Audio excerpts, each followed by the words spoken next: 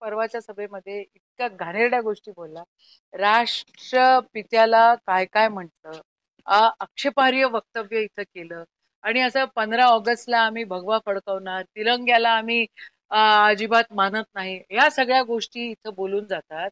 आणि इथं पोलीस झोपलेली राहते. हे माझी विनंती आहे सत्ताधाऱ्यांना की या भिडेवर गुन्हे दाखल करा याला तडीपार करा.